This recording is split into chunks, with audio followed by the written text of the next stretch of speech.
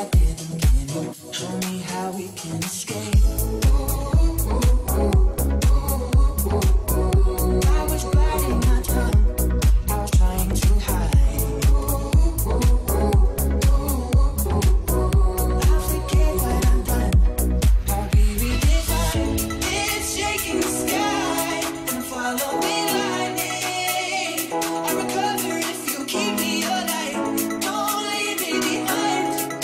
see me.